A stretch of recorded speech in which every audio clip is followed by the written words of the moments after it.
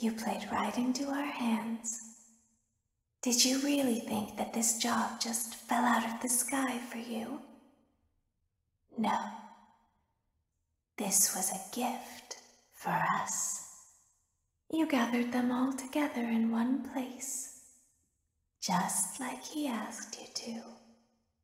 All of those little souls in one place, just for us. A gift. Now we can do what we were created to do and be complete. I will make you proud, Daddy. Watch, listen, and be full. Connection terminated. I'm sorry to interrupt you, Elizabeth.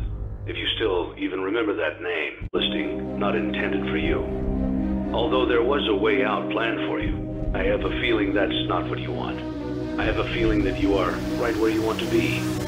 I am remaining as well. I am nearby. This place will not be remembered, and the memory of everything that started this can finally begin to fade away.